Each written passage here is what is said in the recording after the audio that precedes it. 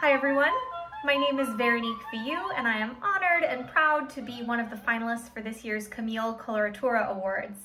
Hi, my name is Penelope Shumate. My name is Sophia Hunt. Hello, my name is Sarah Fleiss. Hi, my name is Helena. Hi there, uh, my name is Cornelia Lotito. Hi, my name is Francesca Mehrotra. I'm a Brazilian American soprano.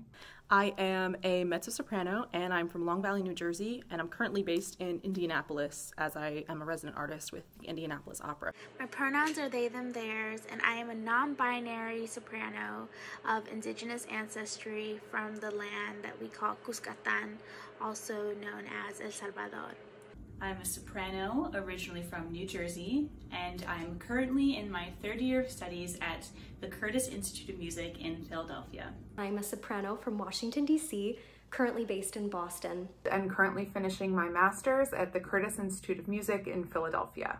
I've been really lucky to continue to work uh, as a member of the Pittsburgh Opera Resident Artist Program. So I'm currently entering my second year. I just want to say thank you so much to everybody at the Camille Coloratura Awards for keeping this incredible technique alive and really celebrating um, Oratura and Coloratura across the board in all voice types, which is just wonderful to see. Um, and also for keeping this art form alive during COVID and during the really difficult times that have beset the entire industry. I was very excited to see the listing for this year's competition, and I learned three new coloratura arias that I thought would be very exciting. And I was so excited to learn when I advanced to the semifinals and then elated to know that I had advanced to the finals. And I'd say it's also great to be involved in something during the pandemic. Obviously, we've all been through a lot, so it's really great to just be celebrating the art of singing and the pursuit of coloratura. This competition has done a wonderful job of adapting to a virtual format due to the pandemic. And I would say that for me as an artist, this is one of the few positive things that has come out of the past 18 months is learning how to connect with each other even when we can't be in person. It's a really wonderful virtual project I got to be part of during the pandemic called Thumbprint. It's a 21st century opera written by Kamala Sankaram and it's a story that's very near and dear to my heart and getting to put that together with a cast that was all over the country was very powerful.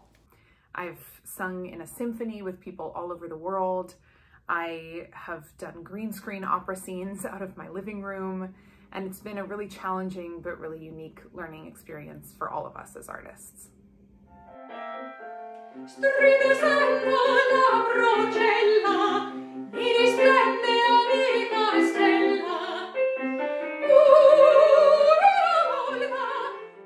also very excited that this competition was online.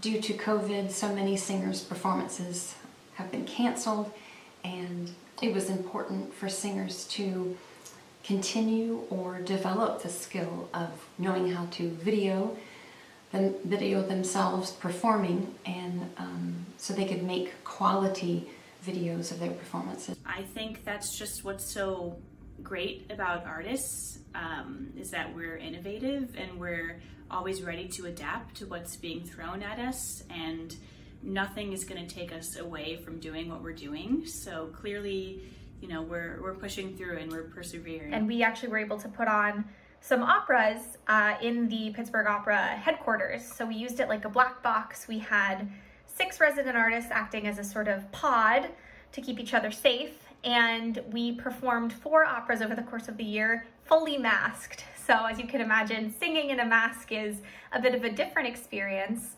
Um, it changes the way that you get feedback from the room. It changes the way that you can sort of move your jaw and your lips and you have to find ways of taking good breaths without inhaling the mask. So it certainly was a, a year of really figuring out what that looked like.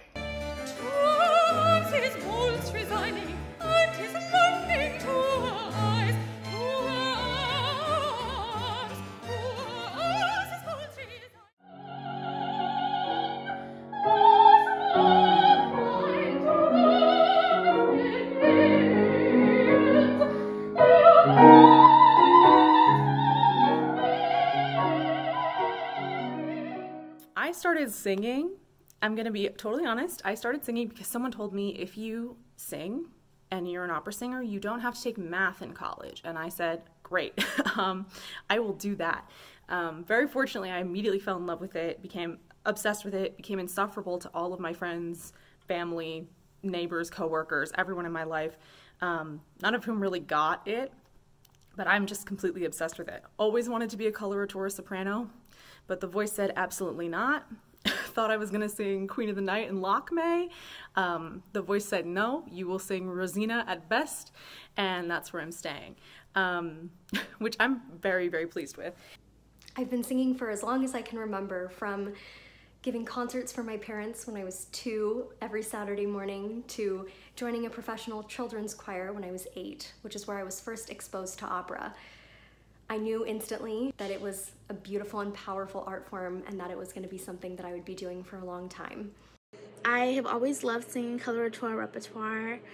I just think it's so amazing that we get to sing all these super fast notes and be super expressive without actually even using words. I think that's just so amazing.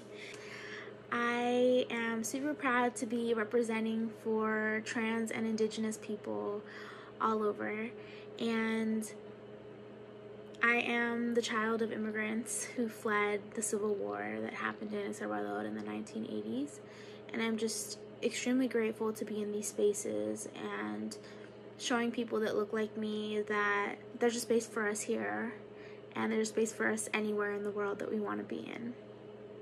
Um, in terms of competitions, we're so grateful. I think I can speak on behalf of many of these young artists that that companies like the Camille Coloratura Awards have found ways to go virtual to allow us to still pursue competitions, get our get our product and our voices in front of people, get heard, um, have some opportunities to to pursue those those next steps in in getting out in front of an audience, even though our audience looks a little bit different and is through a screen most of the time these days. So um, I am certainly very grateful to be able to sing via video unmasked for all of you and thank you so much to the Camille Coloratura Awards for um, going online and helping to make this possible. So uh, congratulations to all of the wonderful finalists, and I'm looking forward to hearing the concert.